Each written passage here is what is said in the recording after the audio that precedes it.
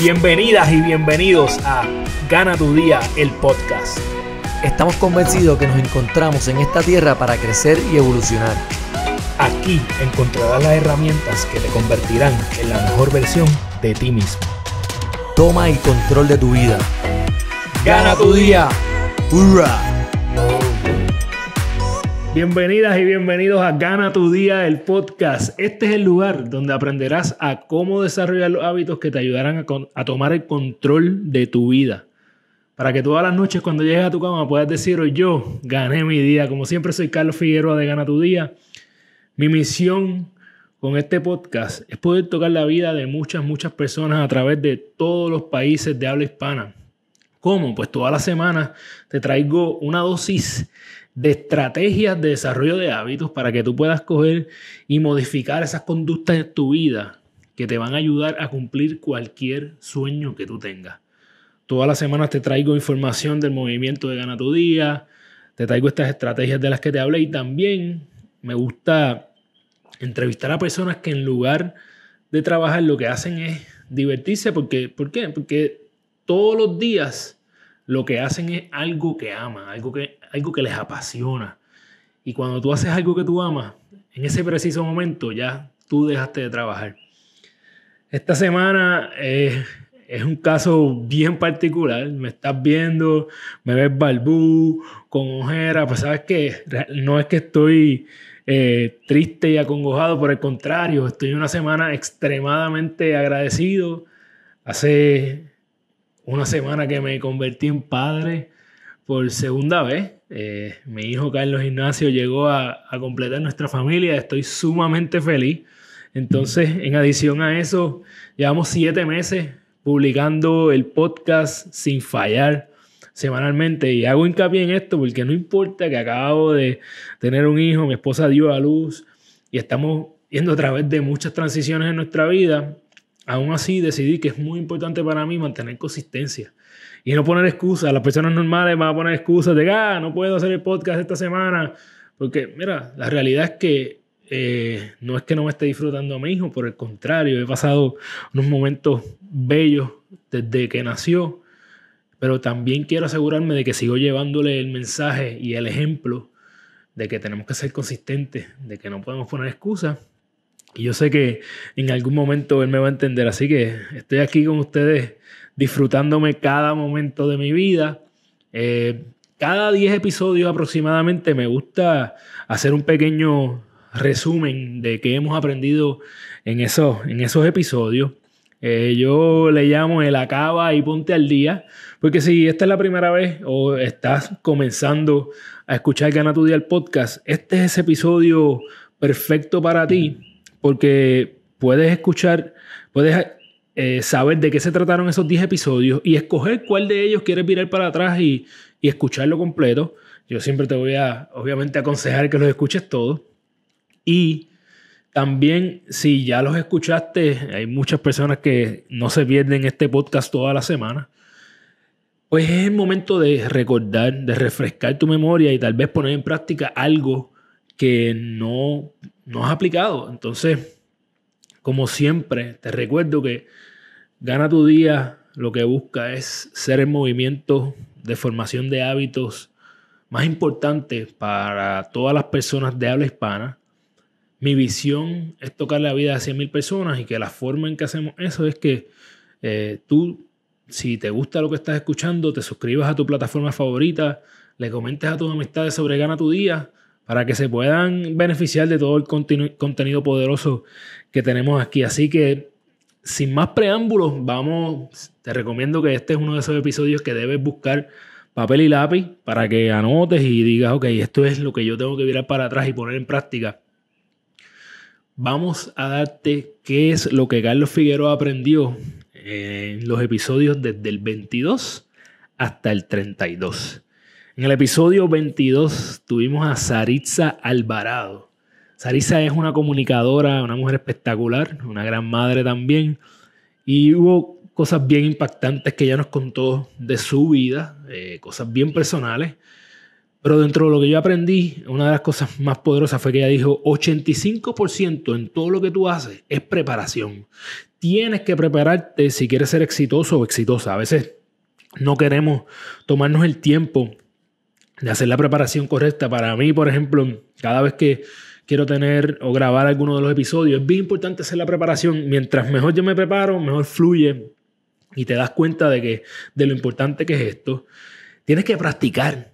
Tienes que practicar consistentemente. Eso es otra de las cosas que no nos gusta hacer. Nos creemos que, ah, lo hicimos una vez, lo sé todo. Mira, tienes que practicar constantemente. Mientras estoy grabando esto, estoy mirando a una foto eh, en mi oficina de Kobe Bryant, que siempre lo traigo a relucir, es uno de los, de los más grandes de la historia del baloncesto. Y aun cuando era un caballo, seguía y seguía y seguía practicando y seguía evolucionando. Así que sé como él y practica en eso de que tú quieres ser eh, mejor cada día. Sigue practicando, no creas que lo sabes todo, no creas que no puedes mejorar. Y por último, eh, las personas eh, que están en los lugares a los que tú quieres llegar, al igual que tú, tienen miedo.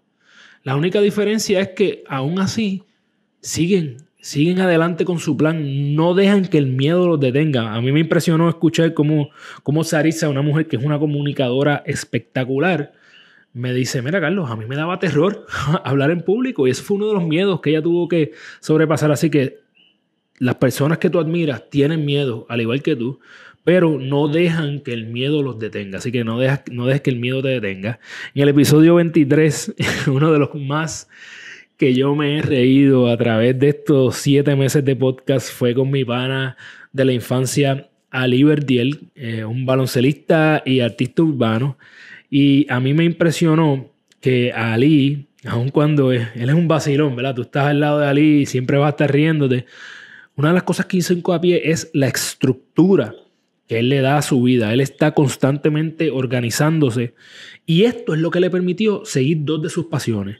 Él es baloncelista profesional, a través de su vida el baloncesto ha sido su primera pasión, ahora mismo está persiguiendo una, su segunda pasión, que es la música, y el organizarse le ha permitido seguir estas dos pasiones. Así que no, no te limites y asegúrate de darle estructura a, y a tus planes para que puedas seguir todas las pasiones que tú quieras en tu vida. Prepárate para tener diferentes fuentes de ingresos. En el caso, si eres deportista o quieres ser deportista profesional, sabes que no puedes hacer esto para toda tu vida, pues prepárate porque en algún momento tu fuente de ingresos se va a ver limitada. Ali es realtor, eh, tiene trabaja con propiedades, ahora mismo está incursionando en la música y hace muchas cosas. Y es una de las cosas que yo admiro del que, y es una de las razones por las que lo traje al podcast. Porque una persona, a veces eh, vemos a los baloncelistas que terminan sus carreras y se van a la bancarrota. Me parece que es importante que nos preparemos financieramente.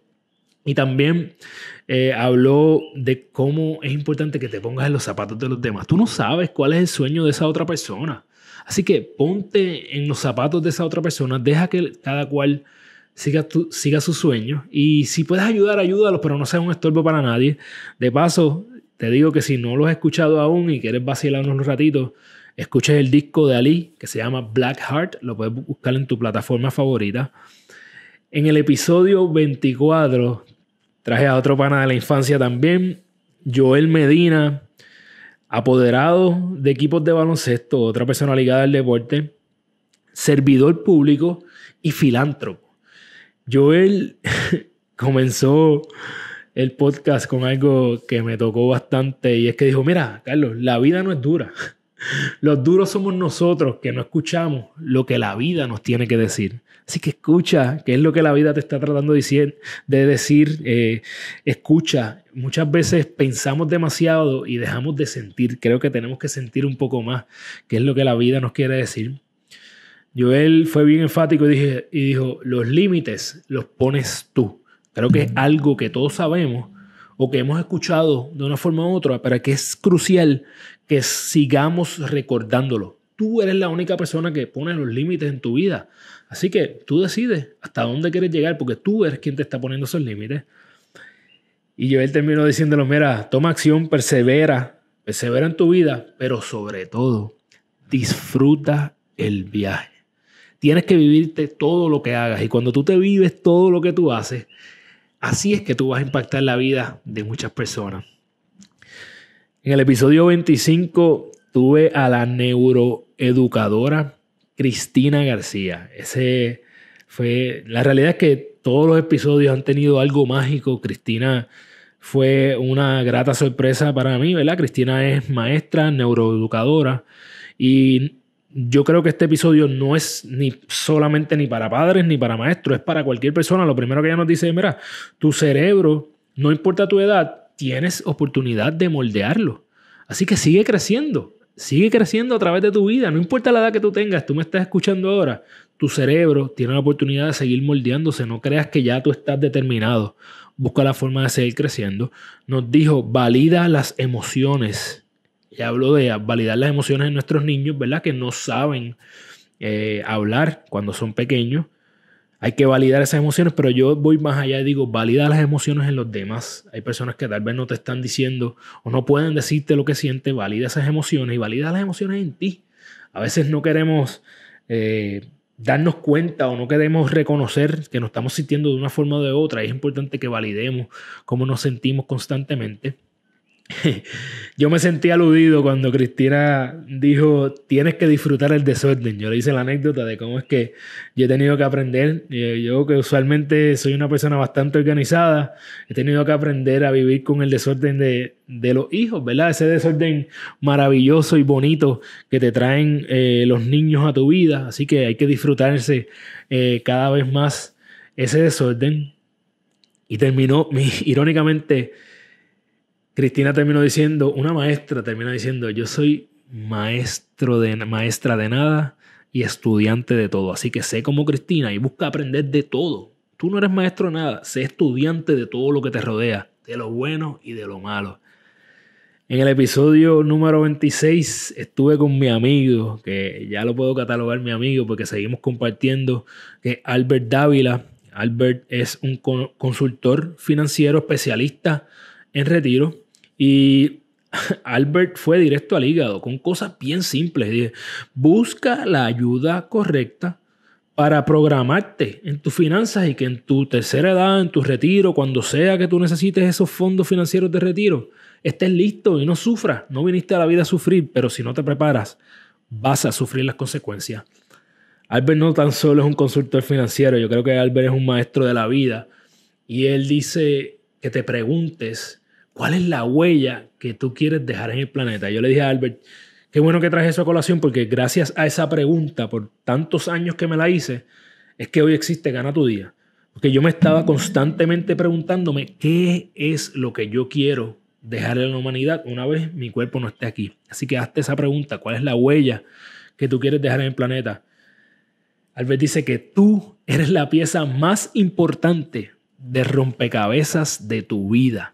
Así que tú eres esa pieza. Asegúrate de que la colocas en donde tiene que ir para que cumplas todo lo que tú viniste a hacer este planeta. Y dijo algo que no puedo estar más de acuerdo. Dice, con el dinero y con el tiempo tú puedes hacer tres cosas. Gastarlo, malgastarlo o invertirlo. Tú decides qué vas a hacer con el tiempo y con tu dinero. En el podcast, en el episodio número 27 de Gana tu Día el podcast, tuve a la feminista y activista eh, Aliana Margarita Vigio Alcoba. Aliana es una de las personas más jóvenes, si no es que es la más joven que ha venido a visitarnos y Aliana trajo tanta sabiduría con ella. Primero que nos dice es que tienes que ser flexible a la hora de, de tratar de entender ¿verdad? todo lo que tiene que ver con con las situaciones sociales, tienes que escuchar sin, sin prejuicio, tienes que estar dispuesto y dispuesta a aprender y a desaprender. Eso es algo muy importante, que hay, hay veces que tenemos que desaprender cosas que están impregnadas ya en nuestra mente por tanto tiempo que llevamos haciéndolas. Así que aprende a desaprender. Ten consentimiento con las personas. Ten consentimiento. Tú consientes todo lo que pasa en tu vida. Así que ten consentimiento eh, para que no vivas tu vida en automático. Eh, aprendí, eh, me llevé un regañito ahí de, Aliana, pero un regañito en buena lid, sobre la palabra denigrar. Este, es una palabra que para muchas personas puede ser normal, pero es una palabra que, que viene de un lenguaje despectivo ya que viene de negro, denigrar. Así que en lugar, en lugar, de utilizar esa palabra cuando tengas que utilizarla, utiliza la palabra degradar o algunos sinónimos parecidos a esa para que estés... El vocabulario fue algo de lo que, yo aprendí de Aliana, cuán importante es el vocabulario para nosotros contribuir a los bienes sociales. Y entonces, eh, por último, de Aliana tienes que entender que puedes aprender a ser como ella, que no importa la edad, debemos mantener eh, la humildad en todo lo que hacemos, no importa cuánto éxito tú estés teniendo. En el episodio número 28 tuve una conversación mágica con la reportera y productora eh, de noticias Grenda Rivera.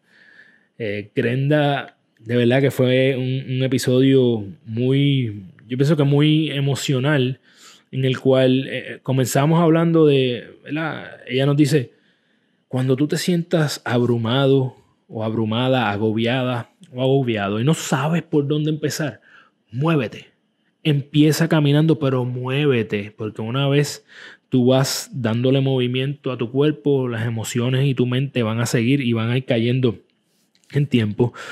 Tú no controlas cómo los demás te perciben, tú solo controlas lo que tú transmites, así que transmite lo mejor que tú puedas, pero no le des demasiado casco a, a cómo los demás te perciben porque tú no lo puedes controlar. Al final del día tú da lo mejor de ti y asegúrate de eso. Lo demás no está en tus manos. Mantén la serenidad. A la hora de comunicar, trata de mantener la serenidad. Es algo que yo me recuerdo constantemente. Evita el hipo mental. Y por último, ya dice, y lo enfatizó muchas veces, vinimos esta vida a disfrutar. Así que ámate. Ámate como nadie te amará. En el episodio 29 traje a mis amigos de Burea, a los emprendedores exitosos, muy exitosos, Manuel Ortiz y Estefan Maganto, eh, que son empresarios de la compañía eh, Burea. Y te hablamos de tantos aspectos importantes del empresarismo, pero uno que tocamos muchas veces fue el aspecto de la salud. ¿Cuán importante es tu salud cuando eres empresario, emprendedor o emprendedora?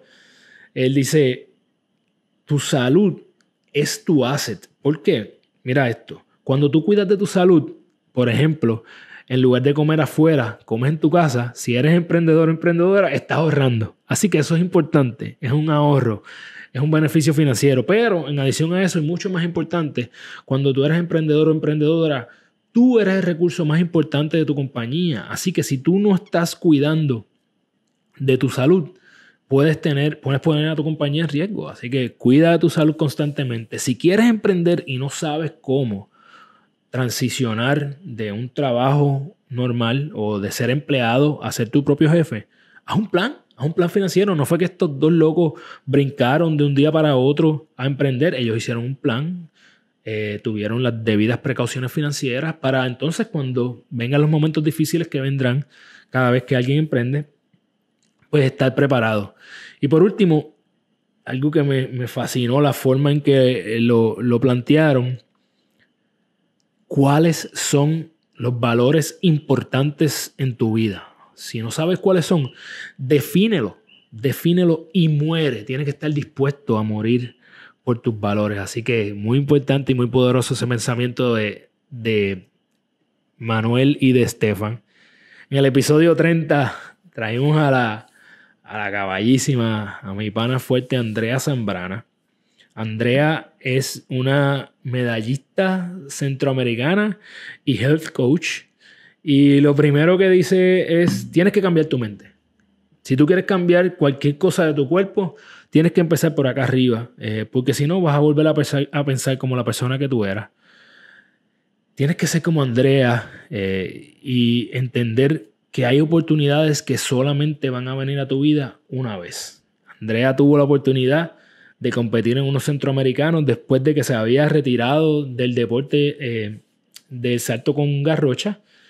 Y ella decidió volver al deporte porque era la oportunidad de ganar una medalla en su país y frente a su hijo. Así que eh, decidió ir tras esa oportunidad y sabes qué, obviamente sabemos que lo logró. Así que eh, aprovechas esas oportunidades que vienen una sola vez en tu vida. Y tienes que ser decisivo y decisiva. No puedes ser tentativo.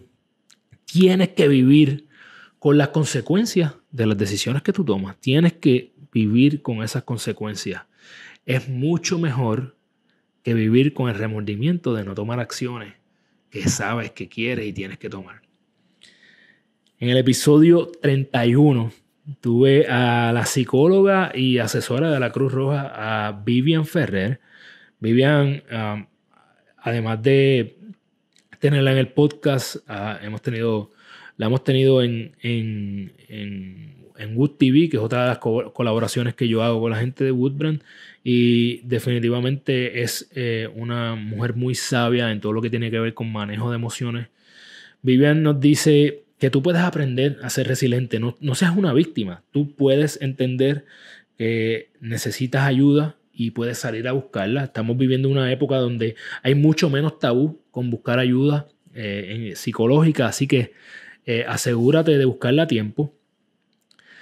Para evitar la ansiedad, haz ejercicios de grounding. Eh, tienes que ir al episodio para que veas específicamente cómo Vivian nos explica cómo hacer ejercicios de grounding, que son tan y tan poderosos cuando tú vas a, cuando tú estás eh, con ansiedad, cuando tienes, no tienes control de tus emociones, ese es el momento donde tú tienes que hacer este tipo de ejercicio. Eh, Vivian está bien, fue bien enfática en que tienes que sacar tiempo para ti. Como dije anteriormente, no es la única que lo menciona, tienes que amarte como nadie te va a amar. Yo creo que ella yo siempre estoy diciendo a través de Gana tu día el podcast, ¿verdad? Que somos el promedio de las cinco personas con quien más tiempo pasamos. Y para mí la mejor analogía que yo he escuchado con respecto a esto me la dio Vivian es que tu vida es como un auto. Y en ese auto de tu vida tú decides a quién vas a dejar entrar a tu carro, a quién vas a montar en asiento de atrás, a quién vas a montar en asiento del pasajero, quién es tu copiloto, a quién dejas guiar, a quién tienes que bajar del auto en diferentes etapas de tu vida. Así que pregúntate, pregúntate quién estás dejando entrar a ese auto de tu vida. Y ella terminó el podcast diciendo que ella se levanta agradecida y se acuesta lograda. Y yo creo que eso es una definición de, en, en un par de palabras de lo que es ganar tu día. Levantarte con esa energía en tu corazón, de que estás vivo o viva y acostarte logrado, que significa que hiciste las cosas que te hacen mejor. Como dice Vivian, ¿verdad? Buscando la mejor versión de ti. Así que eso es espectacular ese episodio con Vivian Ferrer.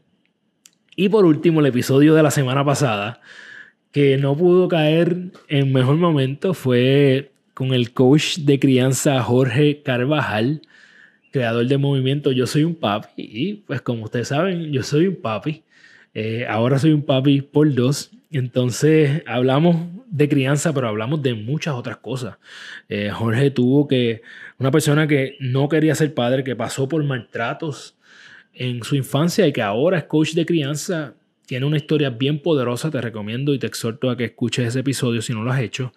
Dice que si tú quieres perdonar a alguien como él tuvo que hacerlo con su madre, que tiene Alzheimer y no pudo tener la conversación tal vez a tiempo como él hubiese querido, pues él hace la terapia de la silla. Sientas una silla y le hablas a la silla y te desahogas, te desbordas. Yo creo que más allá que, que el método que tú utilices para perdonar, yo creo que es un ingrediente muy importante que subestimamos en nuestra vida. A veces que estamos estancados y es porque no dejamos ir cosas de nuestro pasado, personas de nuestro pasado, errores que nosotros hemos cometido. No te estoy hablando de perdonar a otros. A veces tiene que ser perdonarte a ti mismo. Así que utiliza el perdón. Más que todo, no tienes que utilizar la terapia de la silla como Jorge o escribir como hago yo. Simple y sencillamente busca la forma más efectiva para ti, pero utiliza el perdón en tu vida. Jorge no cree en castigar y yo estuve presente en presencia de sus dos hijos y no, no tuvo que levantar la voz, no tuvo que hacer nada eh, más allá, así que él cree en la disciplina, eh, con, eh, en la crianza con disciplina positiva. Yo creo que es, él lo define como asegurarte de que el niño, ¿verdad? Esto si eres padre o madre, no necesariamente eres padre o madre, puede ser tío tía, primo o prima, ¿verdad? Cualquier niño que tú tengas en tu vida, busca que el niño reconozca su error y que aprenda de él. Yo creo que su, él dice, nosotros subestimamos a los niños, los niños son sumamente creativos, así que si tú le preguntas a los niños eh, cuál es la solución para ese, esa situación o ese problema, ellos van a traer soluciones a la mesa. Asegúrate de utilizarlas. Entonces, habló de que lo más importante como padre o madre es tu presencia, cómo tú puedes estar, no solamente que estés ahí, sino que cuando estás con tu hijo, en lugar de estar con el celular, ¿verdad? Estar presente, estar con ellos, disfrutarlos. Eso es lo, más que tú, lo mejor que tú le puedes regalar a tu hijo. Habló de los abrazos, de la importancia que, que tienen los abrazos en nuestra vida. Así que abraza eh, si, no me, si más no recuerdo, habló que necesitamos 8 abrazos para estar bien, 12 abrazos para crecer, así que abraza lo más que tú puedas. Obviamente estamos en una pandemia eh, global, no es que vayas por ahí por la calle abrazando a la gente que no conoces, abraza a tu núcleo, abraza muchas veces, si es una persona que tienes al lado tuyo, abrázala 12 veces al día para que puedas crecer. Y él terminó eh, hablando de, ¿verdad? De que ayudemos a nuestros hijos a ganar su día de que le creemos hábitos y estructura para que se conviertan en personas de bien. Así que, ¿qué más yo te puedo decir? Esto ha sido una, una ola de entrevistas bien poderosas, bien enriquecedoras. Le doy las gracias a cada una de esas personas que sacaron de su tiempo para sentarse con este loquito que está tratando de dejar su huella en el planeta y que de verdad todos fueron extremadamente genuinos, todos estuvieron dispuestos, a algunos hasta esperarme. Así que de mi, de mi parte le quiero dar las gracias a cada una de las personas que algunos viajaron más de una hora para ir a sentarse conmigo un ratito. Bien agradecido, más que todo por, por lo que he aprendido y porque estamos llevando un mensaje a muchas personas que necesitan, necesitan escucharlo.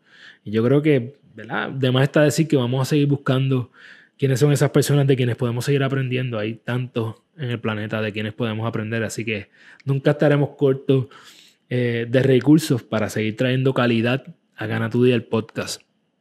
No quiero despedirme sin antes darle las gracias a la gente de Woodbrand PR, que son siempre un apoyo importante para Gana tu Día el podcast si tú estás escuchando este episodio, pues aprovecho que si tú quieres tener gorras espectaculares como la que yo tengo hoy, aunque esta es old school, es una de mis favoritas, lleva un tiempo ya conmigo, no la puedes conseguir, pero tienes que ir para que veas lo que ellos tienen allí, vete a www.woodbrandpr.com y vas a utilizar el código GTD, GTD para free shipping, así que te estoy dando un regalito de parte de Woodbrand y de Gana tu Día.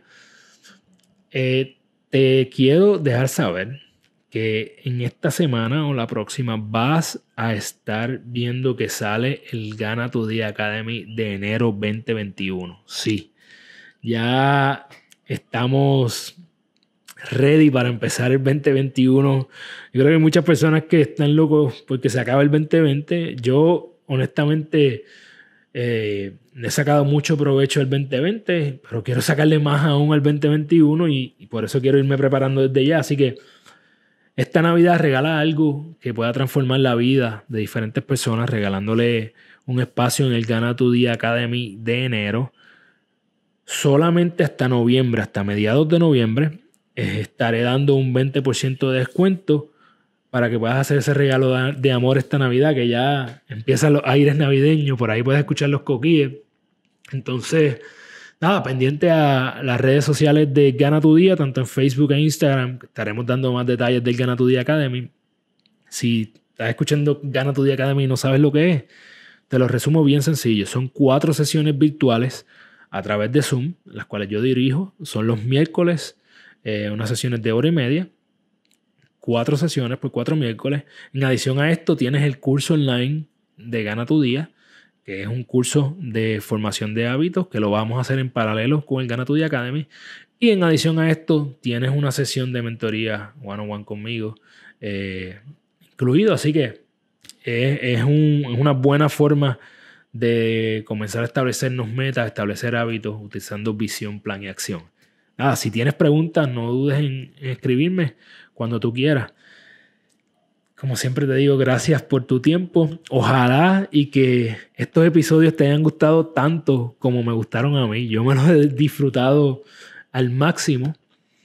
Eh, si te gustaron, ah, sabes que nos puedes encontrar en cualquier plataforma de podcast y en el canal de YouTube. Así que eh, suscríbete a tu plataforma favorita para que puedas sacarle provecho a Gana tu Día podcast. Recuerda que eres la única persona responsable de todo lo que pasa en tu vida y que la forma en que tú cumples tus sueños es desarrollando los hábitos que te acercan a ellos porque tú eres tu hábito. Así que diariamente toma las acciones que te acercan a tu mejor versión para que cuando llegues a tu cama puedas decir, hoy yo gané mi día. Un abrazo bien grande mi gente, nos vemos la semana que viene.